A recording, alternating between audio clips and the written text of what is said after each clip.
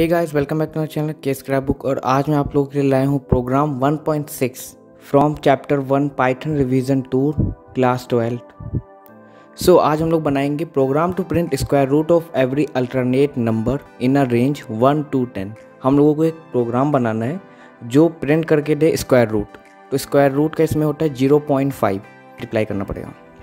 Okay लेकिन square root बोला तो पावर लगेगी इसमें मैं आपको बता दूँगा पूरे प्रोग्राम में आगे।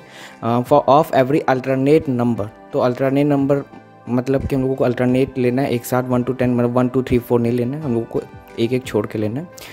रेंज भी हम लोगों को दी गई है one to ten so let get started तो सबसे पहले हम लोग यहाँ यहाँ पे हम लोगों को ज़्यादा कुछ लिखना नहीं दो लाइन का कोड होगा uh, हम लोगों को लूप लगाना है। So for I in range हम लोगों को रेंज कितना दिया? वन टू टेन तो हम लोग लेते हैं स्टार्ट कहाँ से करना? वन स्टॉप कहाँ पे करना है?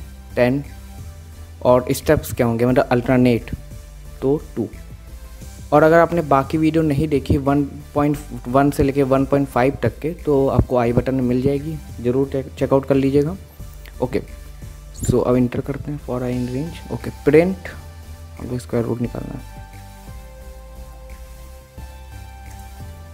Square root of I I हम लोग ने यहाँ पे दिया ना I for I in range तो आई कॉमा इज़ अब आपको बताते हैं।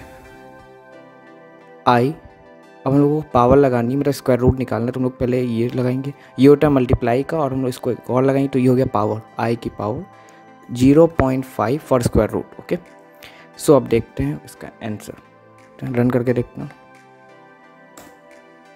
सो so, आप देख सकते हैं square root of one three five seven nine ten तक के दिया था हम लोगों ने तो आप देख सकते हैं अल्टरनेट नंबर सो गाइस अगर आपको ये वाली वीडियो पसंद आई हो तो लाइक कर दीजिएगा कमेंट करिएगा और कमेंट में हम लोगों से क्वेश्चन ही पूछ सकते हैं आप तो ज़रूर पूछ लीजिएगा।